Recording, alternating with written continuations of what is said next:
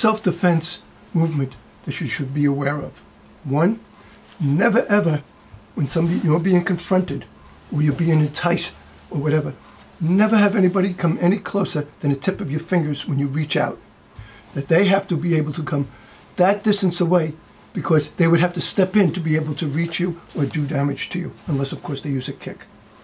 So what you want to do is you want to be able to keep them at that point because if they come closer to you, let me show you how fast reflexes really work. In reflexes, what's happening is when you have, if you're the attacker, we're going to say, your hand's going to come up this way.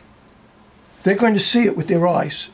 By the time it goes from here to here, and then from here to reaching them, it's going to register in their mind, uh oh, I'm being attacked. And that's when they start to move. So that means you'd be able to stand here and attack them before they can actually protect themselves.